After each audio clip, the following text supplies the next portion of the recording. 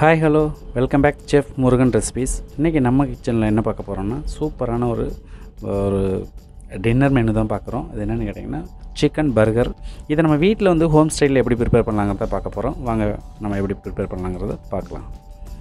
So நம்ம வந்து பார்த்திங்கன்னா இப்போ வந்துட்டு வந்து பார்த்தா ஒரு ஃபைவ் ஹண்ட்ரட் கிராம் வந்துட்டு சிக்கனை வந்து நம்ம வந்து இந்த மாதிரி மிக்சியில் போட்டு அரைச்சி நம்ம எடுத்து வச்சுருக்கோம். அதில் வந்துட்டு பார்த்திங்கன்னா ஒரு ஸ்பூன் ஜீரா ஆட் பண்ணிக்கலாம். ஒரு கால் டேபிள் ஸ்பூன் வந்துட்டு மஞ்சத்தூள் போட்டுக்குவோம்.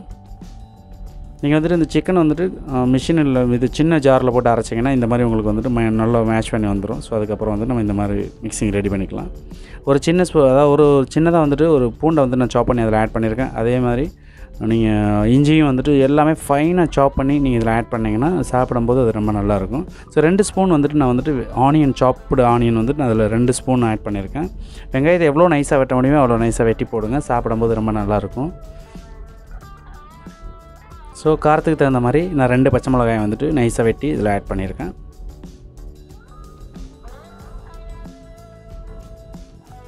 ஸோ அது போக இன்னும் கொஞ்சம் ஸ்பைசி ஏன்னா நம்ம வந்துட்டு பச்சை மிளகா ஸ்பைசி ப்ளஸ் அது போக வந்துட்டு மிளகாத்தூளோட ஸ்பைசி டிஃப்ரெண்ட் இருக்குது ஸோ அதில் இது அதுக்கு தகுந்த மாதிரி நம்ம வந்துட்டு ரெண்டையுமே ஈக்குவல் பண்ணி நம்ம ஆட் பண்ணியிருக்கோம். அதுபோல் பிளாக் பெப்பர் பவுட்ரு வந்துட்டு நம்ம வந்து ஒரு ஸ்பூன் போட்டிருக்கோம். மிளகாத்தூள் போட்டோம்னா இன்னும் ரொம்ப நல்லாயிருக்கும் அதுபோக இந்த சிக்கனுக்கு எவ்வளோ தேவையானது வந்துட்டு உப்பை வந்து நம்ம ஆட் பண்ணியாச்சு. ஸோ உப்பு போட்டதுக்கப்புறம் என்னென்னு பார்த்தீங்கன்னா நம்ம வந்துட்டு அதில் வந்துட்டு நம்ம மல்லி ஒரு ஸ்பூன் சாப்பிடு மல்லி ஒரு ஸ்பூன் போட்டிருக்கோம். அது போக கொஞ்சம் புதினாவை வந்து நல்லா ந சின்னதாக நறுக்கி அதையும் ஆட் பண்ணியாச்சு. அது போக வந்துட்டு ஐஸ்பர்க் லெட்டிஸ் வந்துட்டு ஃபைன் சாப் பண்ணி அதையும் கொஞ்சம் ஆட் பண்ணியிருக்கோம். இன்னும் கொஞ்சம் நல்லாயிருக்கும் அது. அதை ஆட் பண்ணுறதுனால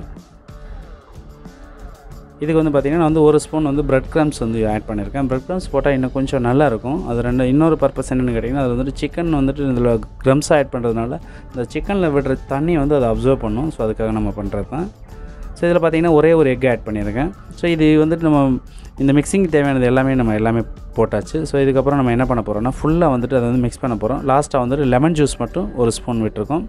ஸோ லெமன் ஜூஸ் விட்டு விட்டு பண்ணும்போது வந்துட்டு பார்த்திங்கன்னா அதில் புளிப்பு ஸ்பைசி எல்லாமே நல்லா மிக்ஸ் ஆகி நமக்கு வந்துட்டு சரியான ஒரு ஜூஸியாக நல்லாயிருக்கும் டேஸ்ட்டு ஸோ இப்போ இதை ஃபுல்லாக வந்து நல்லா மிக்ஸ் பண்ணிக்கோங்க. வெ- அதாவது வெல் மிக்சிங் பண்ணணும். நல்லா பண்ணிங்கன்னா தான் வந்துட்டு உங்களுக்கு ஃப்ரை பண்ணும்போது அந்த கலரும் சரி நம்ம சாப்பிடும்போது அந்த ஜூஸி இது டேஸ்ட்டு எல்லாமே நமக்கு நல்லா மிங்கிள் ஆகி நல்லாயிருக்கும் ஸோ அதனால் வந்துட்டு பார்த்திங்கன்னா ஒரு கை விடாமல் ஒரு ஃபைவ் மினிட்ஸ் வந்து நல்லா இதை வந்து மிக்ஸ் பண்ணுங்கள் பரோட்டா மாவு பண்ணுற மாதிரி நல்லா மிக்ஸ் பண்ணுங்கள் அப்போ தான் மிக்ஸ் ஆகும் ஏன் அப்படின்னு கேட்டிங்கன்னா இது வந்து இந்த சிக்கனை பொறுத்த வரையும் பார்த்திங்கன்னா ஃபுல்லாக வந்துட்டு பேஸ்ட் மாதிரி தான் இருக்கும். நம்ம கிரைண்டரில் இது மிக்சியில் போட்டு அரைக்கும் போது ஸோ அதில் வந்து நம்ம வந்துட்டு ரொம்ப நல்லா மிக்ஸ் பண்ணோம்னா மட்டும் தான் மிக்ஸ் ஆகும். இல்லைன்னு வந்து பார்த்திங்கன்னா சின்ன சின்ன பீசஸாகவே ஒரு சைடில் அப்படியே ஒதுங்கிக்கிட்டே இருக்கும். உங்களுக்கு பார்த்தீங்கன்னா தெரியும் அங்கங்கெல்லாம் வெள்ளை வெள்ளையாக இருக்கு இல்லைங்களா?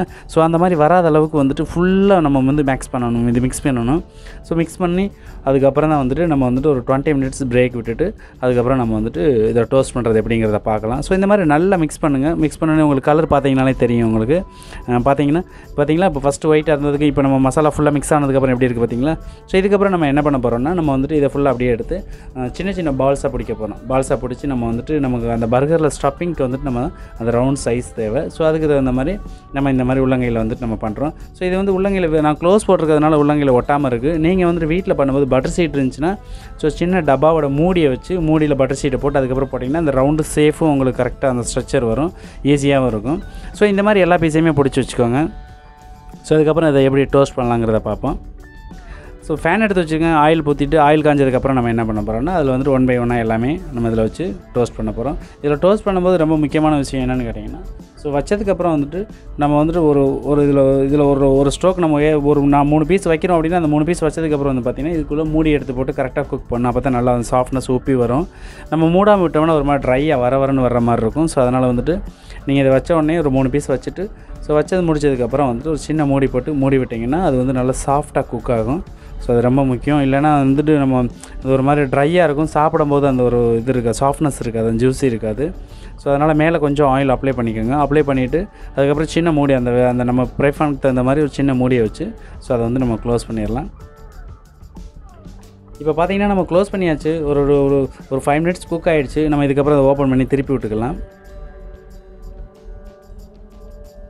கலர் பார்த்துக்கோங்க பார்த்தீங்களா? அது எல்லாம் ஃபூ நல்லா உப்பி வெள்ளையாக வந்திருக்கு பார்த்தீங்களா? மேலே பார்த்தீங்களா? ஒரு மாதிரி இருக்கு பாருங்க. ஸோ இந்த மாதிரி வந்ததுக்கப்புறம் திருப்பி விட்டிங்கன்னா நம்ம வந்துட்டு மேக்ஸிமம் ஃபுல்லாகவே வந்துட்டு ஒரு சிக்ஸ்டி பர்சன்ட் குக் ஆகிடுச்சு திருப்பி விட்டால் பேலன்ஸ் சைடு வந்துட்டு நல்லா குக் ஆயிரும்.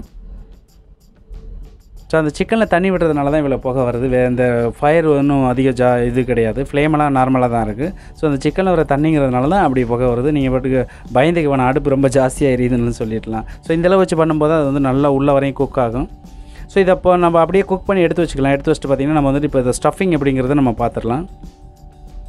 ஸோ இந்த மாதிரி பீஸா இது சாரி பர்கருக்குன்னு சொல்லிட்டு பன் விற்கிது ஸோ இந்த ரெடிமேட் பண்ணை வந்துட்டு நம்ம இந்த மாதிரி வாங்கிட்டு வந்து நம்ம வந்துட்டு ஒன் சைடு ஃபுல்லாக அதாவது ஒன் பீஸை வந்து ஈச் டூவாக வந்து கட் பண்ணி எடுத்து வச்சுக்கணும். அது போக இந்த மாதிரி சாஸ் வந்து பார்த்திங்கன்னா mayonnaise tomato sauce equal quantity எடுத்துக்கோங்க. அதில் வந்து ஒரு அரை ஸ்பூன் வந்து நம்ம வே இது லெமன் ஆட் பண்ணிங்க அப்படின்னா இந்த மாதிரி உங்களுக்கு வந்து மிக்சிங் வரும். ரெண்டு ஸ்பூன் டொமேட்டோ சாஸ் ரெண்டு ஸ்பூன் மைனோஸ் இதை ஆட் பண்ணி அதில் வந்து அரை ஸ்பூன் வந்துட்டு லெமன் ஆட் பண்ணிங்கன்னா இந்த கலர் வந்துடும் உங்களுக்கு.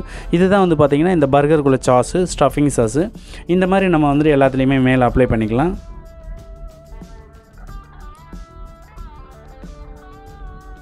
ஸோ இந்த மாதிரி ஒன் பை ஒன் கரெக்டாக அந்த லே எஜ் வரையுமே நல்லா தடவி விடுங்க. அப்போ தான் நம்ம சாப்பிடும்போது நமக்கு அந்த ஒரு ஃபுல் பண்ணுமே வந்துட்டு நமக்கு நல்லா இருக்கும்.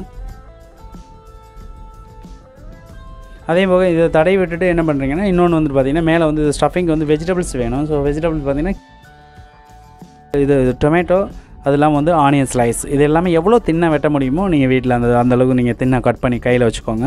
ஸோ சைடில் வச்சுட்டு இந்த இது மேலே அப்ளை பண்ணதுக்கப்புறம் வந்து பார்த்திங்கன்னா நம்ம லெட்டிஸ் லீவ்ஸ் வந்து மேலே வைக்க போகிறோம் ஸோ ஒன் பை ஒன்னாக வந்துட்டு இந்த நம்ம எப்படி இதை வந்து ஸ்டப் பண்ணுங்கிறது தான் இப்போ பார்த்துட்ருக்கோம் ஸோ சாஸ் அப்ளை பண்ணியாச்சு. அதுக்கப்புறம் வந்து பார்த்திங்கன்னா அந்த இதுக்குள்ளே லீஃப் வைக்கிறோம். இது வந்து பார்த்திங்கன்னா சலாடு வந்து சலாட் லீஃப் தான் அது. ஆக்சுவலாக வந்து சலாடோட சேர்த்து சாப்பிட்லாம். இதில் வந்துட்டு பார்த்திங்கன்னா இது மெயின் இது வந்து பார்த்திங்கன்னா இந்த பர்கரில் வந்துட்டு மெயினான ஒன் ஆஃப் தி ஒரு பார்ட் மாதிரி தான் சொல்லுவாங்க இது வந்து. ஐஸ்பர்க் லெட்டிஸ்னு சொல்லுவாங்க. ஸோ இதை வந்து நம்ம வீட்டில் வந்து நாங்கள் பேக்கரி இது சாரி சூப்பர் மார்க்கெட்ஸ்லாம் இப்போ எல்லாம் எல்லாமே அவைலபிளாக கிடைக்குது.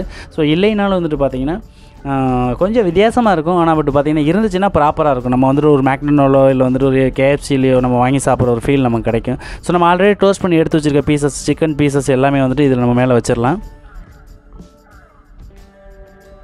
ஸோ சிக்கன் பீசஸ் வச்சதுக்கப்புறம் என்னென்னு கேட்டிங்கன்னா இதுக்கு வந்துட்டு பார்த்திங்கன்னா நமக்கு பர்கர் சீஸ்னு நமக்கு ஒரு சீஸ் கிடைக்கும். ஸோ அந்த சீஸை வந்து நம்ம இது மேலே அப்ளை பண்ணணும். இது ஏன் நம்ம வந்துட்டு உடனே பண்ணுறோம் அப்படின்னு கேட்டிங்கன்னா நம்ம வந்துட்டு கிரில் கிடையாது. நம்ம வீட்டில் ப்ரிப்பேர் பண்ணும்போது நம்ம வந்து ஸோ நம்ம வந்து டோஸ்ட் பண்ண அந்த ஹீட்டில் வந்து நம்ம சீஸ் இது மேலே வச்சோம்னா இது ஃபுல்லாக வந்து மெல்ட் ஆகிடும் ஸோ அதுக்கப்புறம் நம்ம சாப்பிடும்போது நல்ல யம்மி டேஸ்ட் இருக்கும் நமக்கு. அந்த சீஸ் மெல்ட் ஆகி ஒரு மாதிரி அப்படியே ஊறும் அது ஒரு மாதிரி இதாகும்போது. அந்த சூடு குறைஞ்சிருச்சு அப்படின்னா உங்களுக்கு அந்த சீஸ் மெல்ட் ஆகிறது கம்மியாக இருக்கும். ஆனால் பட் மெல்ட் ஆகி ஒட்டிடும் ஆனால் பட் நல்ல சூட்டில் அந்த சிக்கனை வச்சு நம்ம பண்ணும்போது வந்து பார்த்திங்கன்னா ஸோ நமக்கு வந்து சீஸ் வந்துட்டு ஃபுல்லாகவே நல்லா மெல்ட் ஆகிருக்கும். நம்ம சாப்பிடும்போது ஃபுல்லாக மிக்ஸ் ஆகி நல்லா இருக்கும். நல்ல ஒரு எம்மி டேஸ்ட் இருக்கும். ஸோ இதை வந்து நீங்கள் கம்பல்சரி வந்துட்டு நீங்கள் இதை பண்ணும்போது கம்பல்சரி இதை ஃபாலோ பண்ணி பண்ணுங்கள் ஸோ இந்த மாதிரி ஸ்டெப் பை ஸ்டெப்பாக வந்துட்டு எல்லாத்துலேயுமே ஒவ்வொரு பீஸை வந்து நம்ம அடிக்கிடலாம் இது ஷீட்டுங்கிறதுனால வந்து பார்த்திங்கன்னா இப்படி தான் வரும். அதனால் ஒவ்வொரு ஷீட்டுக்கும் ஒவ்வொரு அந்த பட்டர் ஷீட் மாதிரி பேப்பர் கொடுத்துருப்பாங்க. அதை நம்ம எடுத்து விட்டு தான் நம்ம பண்ணணும். ஸோ இதில் வந்து பார்த்திங்கன்னா இந்த சீஸில் வந்து பார்த்திங்கன்னா சால்ட் ஆல்ரெடி இதில் இருக்கும். இந்த சீஸ் ப இந்த பர்கர் சீஸில் ஸோ அதனால் வந்து நம்ம வந்து சால்ட் எக்ஸ்ட்ரா ஆட் பண்ண வேண்டியது கிடையாது. ஸோ இந்த சீஸ் வச்சாலே போதும்.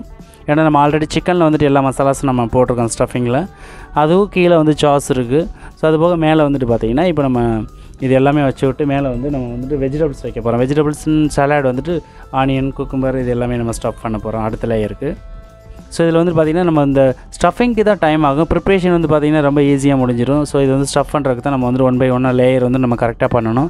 ரெண்டாவது வந்துட்டு பார்த்திங்கன்னா இப்போ வீட்டில் பண்ணும்போது வந்துட்டு உங்களுக்கு அது யூஸ்ஃபுல்லாக கரெக்டாக பண்ணணுன்றக்காக தான் நான் இது வந்துட்டு இவ்வளோ லாங்கான வீடியோவாக இருந்தாலும் வந்துட்டு ரொம்ப ப்ராப்பராக காட்டணும். உங்களுக்கு அதை கரெக்டாக எக்ஸ்ப்ளனேஷன் பண்ணணுங்கிறக்காக தான் இவ்வளோ தூரம் நான் பண்ணிக்கிட்டு இருக்கேன். ஸோ இப்போ பாருங்கள் நம்ம எல்லா பீஸ்லேயுமே வச்சாச்சு. நம்ம வச்சதுக்கப்புறம் என்ன பண்ண போகிறோம்னா நம்ம ஆல்ரெடி கட் பண்ணி வச்சுருக்கோம்னு சொன்னோம் இல்லைங்களா? Onion slice tomato slice cucumber slice இது எல்லாமே வந்துட்டு நம்ம மேலே வச்சு ஒவ்வொரு பீஸ் வச்சு நம்ம வந்து அதில் வந்து இன்க்ளூட் பண்ண போகிறோம் இப்போ ஆனியன் ஸ்லைஸ் எல்லாத்துலேயுமே வச்சுட்ருக்கேன் பாருங்கள் இந்த மாதிரி நீங்கள் வந்துட்டு ரொம்ப தின்னாக கட் பண்ணிக்கோங்க. நைஸாக வெட்டிட்டு. ஸோ அதில் வந்துட்டு ஒவ்வொரு பீஸ் வச்சா போதும் அந்த ஒரு பர்கருக்கு ஸோ இதுக்கப்புறம் என்ன பண்ணுறீங்கன்னா இதுக்கு மேலே வந்துட்டு பார்த்தீங்கன்னா டொமே இது குக்கும்பர் வச்சுக்கோங்க. குக்கும்பர் வந்துட்டு ஒரு மூணு பீஸ் வச்சுக்கலாம். ரொம்ப நைஸாக அந்த மாதிரி வெட்டிங்க வெட்டினீங்க அப்படின்னா மூணு பீஸ் வச்சுக்கலாம். இன்னொரு விஷயம் என்னென்னு கேட்டிங்கன்னா ஸோ இதை வந்துட்டு சென்ட்ரல் தான் குக்கும்பர் வைக்கணும். ஏன்னு கேட்டிங்கன்னா மேலே வச்சா ஒரு மாதிரி இருக்கும். வலிக்கிட்டு போயிடும் டொமாட்டோவும் இதுவும் ரொம்ப ரெண்டுலேயுமே வாட்டர் கண்டென்சன்சி இருக்கிறதுனால அது ஒரு மாதிரி ஒன்னோட ஒன்று வந்து செட் ஆகாத மாதிரி போயிடும் அதனால் வந்துட்டு ஆனியன் கீழே குக்கும்பர் மேலே அதுக்கு மேலே டொமேட்டோ வச்சு வச்சிங்க அப்படின்னா கொஞ்சம் சைஸ் பெருசாக இருக்கிறதுனால சென்ட்ரலில் உள்ள அந்த சின்ன குக்கும்பர் வந்து நல்லா கிரிப்பாக பிடிச்சிக்கும். ஸோ நம்ம சாப்பிடும்போது வந்து பார்த்திங்கன்னா கீழே வந்து உடஞ்சி விழுகாமல் இருக்கும் பர்கர் சாப்பிடும்போது. ஸோ இந்த மாதிரி பாருங்கள் எல்லாமே அடிக்காச்சு இதுக்கப்புறம் நம்ம என்ன பண்ண போகிறோம்னா மேலே வந்துட்டு ஐஸ்பர்க் லெட்டிஸ் வந்துட்டு அதோட லீஃப் வந்து நம்ம வச்சிட்ருக்கோம். ஸோ இந்த மாதிரி சின்ன சின்ன பீஸாக கட் பண்ணி நம்ம பர்கர் சைஸுக்கு தகுந்த மாதிரி வச்சுக்கலாம். ரொம்ப பெருசாக வச்சே ஆகணும்லாம் கிடையாது. நம்ம பர்கர் சைஸ் என்ன சைஸோ அதுக்கு தகுந்த மாதிரி நீங்கள் வந்துட்டு சின்னதாக கட் பண்ணி எடுத்து நீங்கள் வச்சுக்கோங்க. ஸோ இந்த லீவ்ஸோடு சாப்பிடும்போது தான் நல்லா டேஸ்ட் இருக்கும். ஸோ மறக்காமல் வந்துட்டு இந்த லீவ்ஸ் வந்துட்டு கம்பல்சரி ஆட் பண்ணி ப்ரிப்பேர் பண்ணுங்கள் வீட்டில் ப்ரிப்பேர் பண்ணும்போது. ஐஸ்பெர்க் லெட்டிவ்ஸ் இதோட நேம் வந்துட்டு ஸோ மறக்காமல் இதை ஆட் பண்ணி பண்ணுங்கள் ரொம்ப டேஸ்டியாக இருக்கும். நம்ம ஸ்டஃபிங்கும் பார்த்துட்டோம்.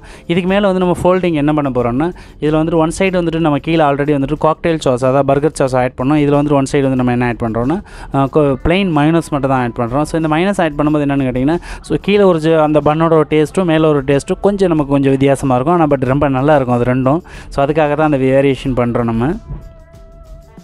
ஸோ இந்த மாதிரி எல்லாத்துலேயுமே வந்துட்டு மைனஸ் ஆட் பண்ணி நம்ம வந்துட்டு ஆட் பண்ணிக்கலாம். ஸோ மறக்காமல் ஃபுல்லாக வந்து கவர்டாக பன்னில் வந்து தடவுங்க. அப்போ தான் வந்து நமக்கு சாப்பிடும்போது எல்லாம் ஆல் ஓவர் எல்லாமே வந்துட்டு பார்த்திங்கன்னா எல்லா ஏரியாவிலையும் அந்த மைனஸ் இருந்துச்சுன்னா நமக்கு டேஸ்ட் ஒரே மாதிரி இருக்கும். ஸோ இந்த மாதிரி பாருங்கள் எல்லாத்துக்குமே அந்த மாதிரி போட்டுக்கோங்க. நம்ம வந்து இப்போ ஒரு ஆறு பீஸ் போட்டோம். ஆறு பீஸுமே இதை ரெடி பண்ணியிருக்கோம். இது இப்போ நான் உங்களுக்கு லைட்டாக நான் காட்டுறேன் பாருங்கள் எப்படின்னு ஃபினிஷிங்கில் ஸோ ரொம்ப ஈஸியான ரெசிபி வீட்டில் அழகாக பண்ணலாம் நீங்கள் மறந்துட வேணாம். இன்னொரு விஷயம் என்னென்னு கேட்டிங்கன்னா ஸோ இந்த ரெசிபி உங்களுக்கு பிடிச்சிருக்கான்னு பாருங்கள் பர்கர் எவ்வளோ பேருக்கு பிடிக்குன்னு பார்த்துட்டு கீழே கமெண்ட் பண்ணுங்கள் ஸோ அதுபோக வந்து பார்த்திங்கன்னா இந்த ரெசிபி உங்களுக்கு ரொம்ப பிடிச்சிருந்துச்சுன்னா ஸோ இந்த வீடியோக்கு ஒரு லைக் பண்ணுங்கள் நம்ம சேனலை சப்ஸ்கிரைப் பண்ணாதவங்க புது கஸ்ட் புது சப்ஸ்கிரைபர் புது நண்பர்களாக இருந்தீங்கன்னா மறக்காமல் நம்ம சேனலை சப்ஸ்கிரைப் பண்ணுங்கள் கூட இருக்க பெல் ஐக்கானை கிளிக் பண்ணிக்கோங்க.